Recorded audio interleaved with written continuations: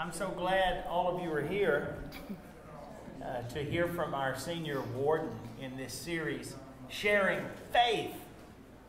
And this, if you don't know Janet Trefry and her family, uh, you're missing out, really.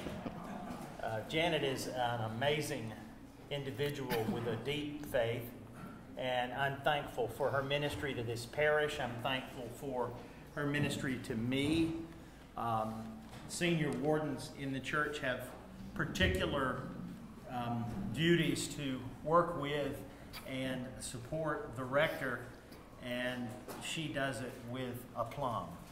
And, and it's a gift to work with her. Uh, and also get to call her a very good friend.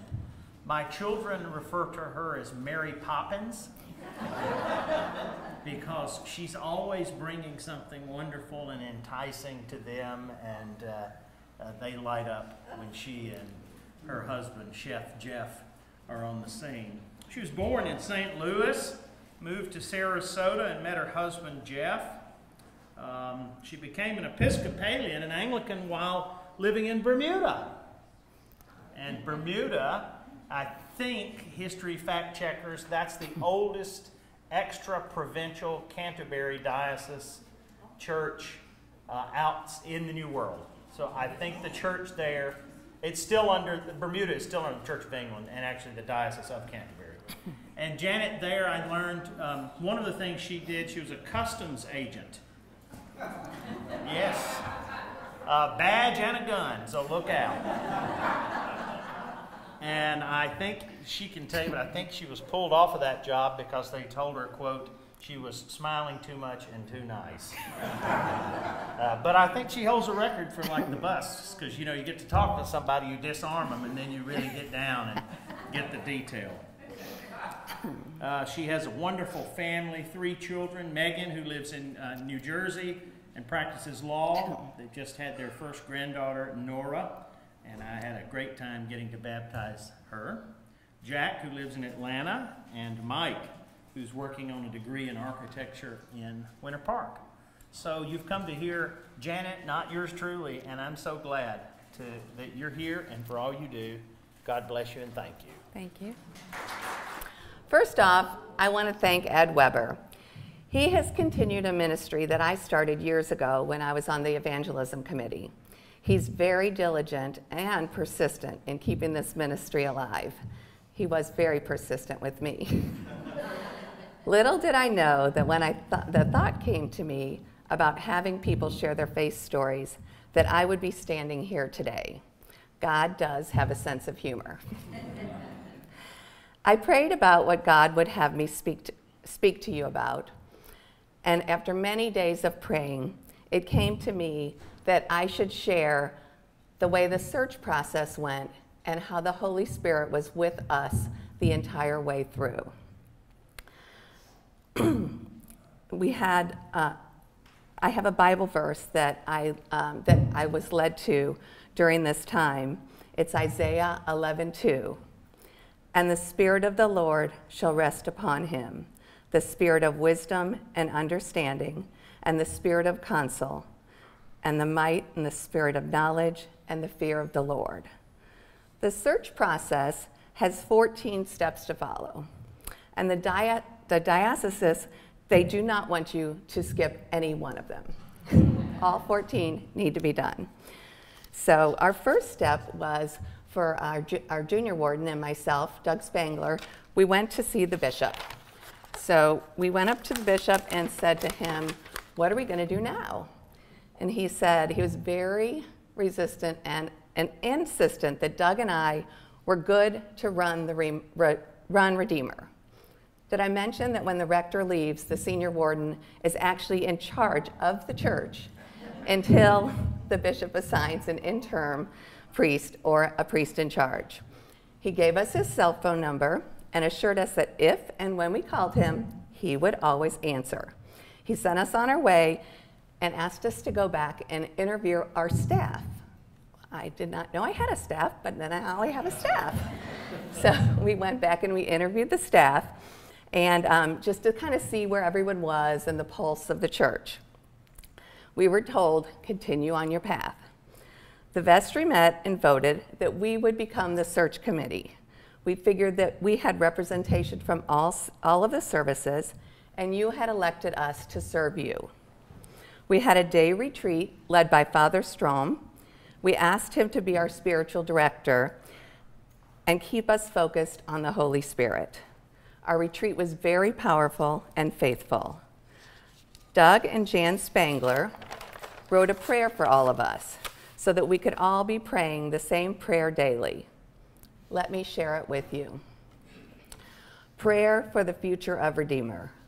Almighty God, Father of our Lord Jesus Christ, we praise you and thank you for our Church of the Redeemer that you so clearly have skillfully created, faithfully maintained, and abundantly blessed from its beginning.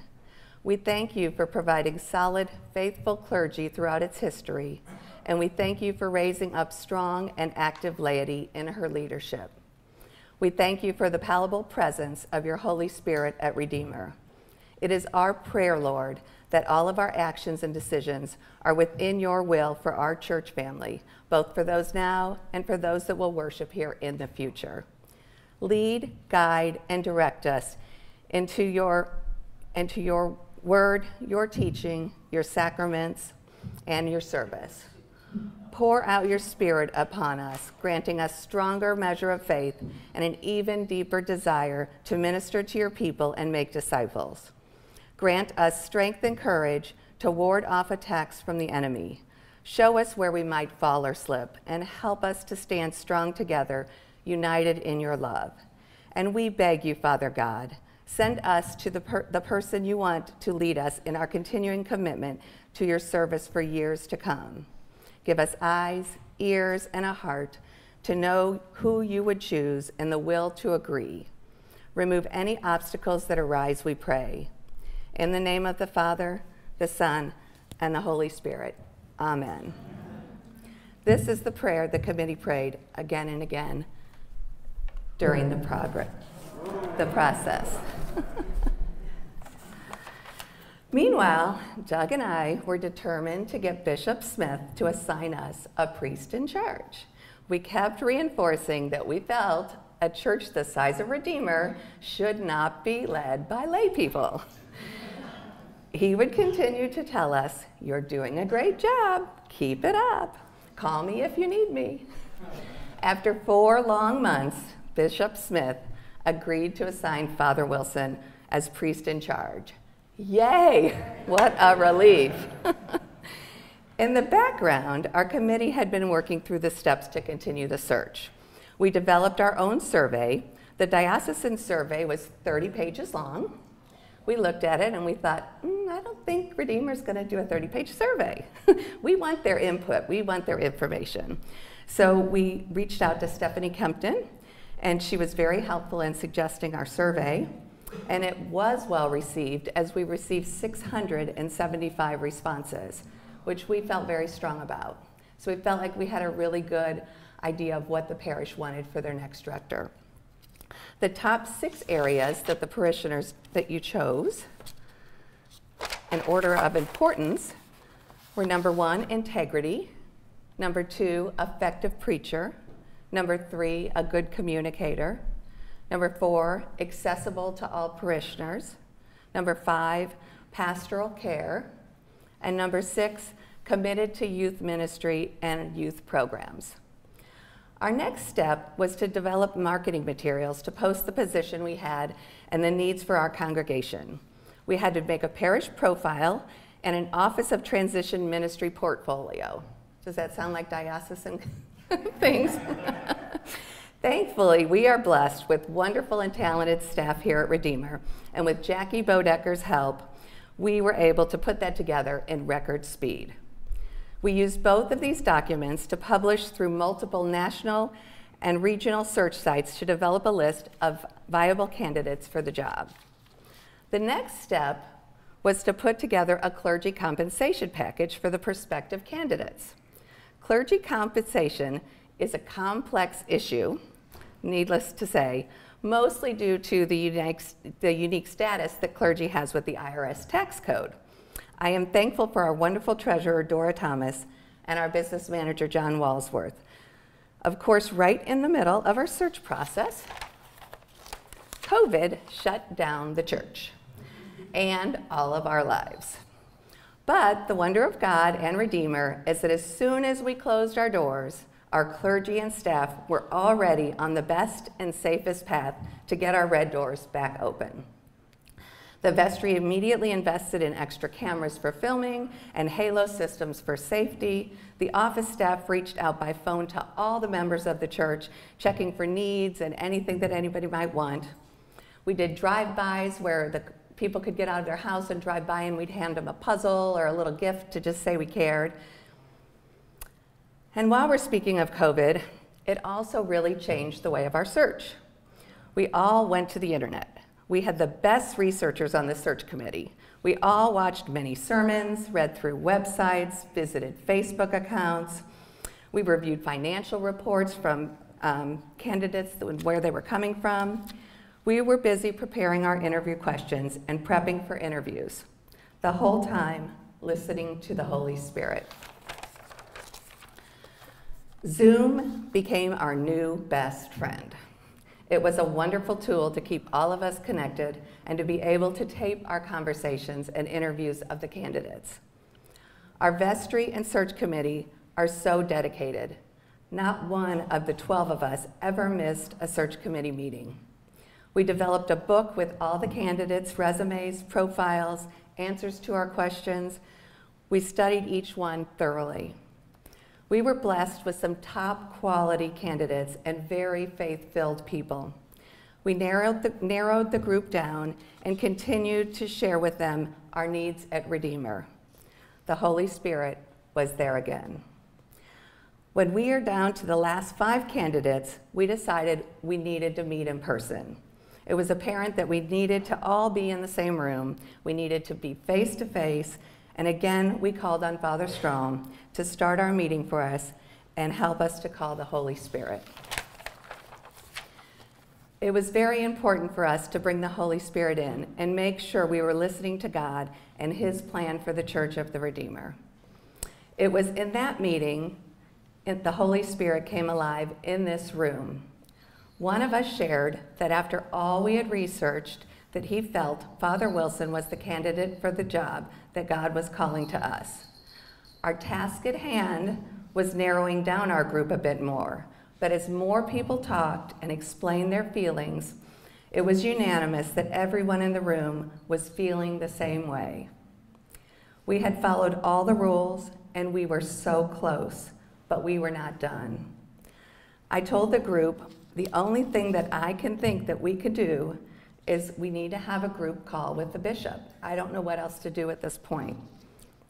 I asked if we, I called the bishop and asked him if we could do a Zoom call with him that night. He wanted to know what it was about, but I told him we needed to speak with him as a group. He was a bit concerned as to, to what we might be saying, but he agreed to it and said yes. Once again, the Holy Spirit was there. On our Zoom call with Bishop Smith, I told him that we had met and it was a unanimous decision that Father Charleston be asked to be our next rector. He asked us all individually some very hard questions and was talking to us as a group together. And all of a sudden, we were talking and he says, Yes. And I said, Yes, what? he said, You have done your work, and you have answered my questions, and you convinced me that Father Charleston is the right person to call. We were all so surprised. I think our jaws were all open on the Zoom call. and I asked, Well, okay, now, now what? Now what's our next step? And he said, ask Father Charleston to be your next rector. I figured there had to be another few steps. I immediately texted Father Charleston to see if we could do a Zoom call at 8 o'clock that night. He was, like the bishop, a little resistant, not having known what, he what we wanted. And he was very much out of the, out of the clue, like he had no idea that it would have been that. He was not happy with me I just kept telling him, trust me, trust me. We had an amazing meeting with all of us, and there was so much excitement and tears of happiness. God is so good. I felt like I needed to share this journey with you. Just like all the other areas of Church of Redeemer, your board is very faithful and cares very much about our future. I wish to thank the vestry for all of its work and prayers. I will miss this group as I go off the vestry in January. I have been blessed to share this experience with them and will hold every one of them in my heart. I thank Father Charleston for saying yes to his call. The Church of the Redeemer is strong and faith filled. Let us follow our tagline to make new Christians and make all Christians new so we can grow together. God knows our plan. We just need to listen.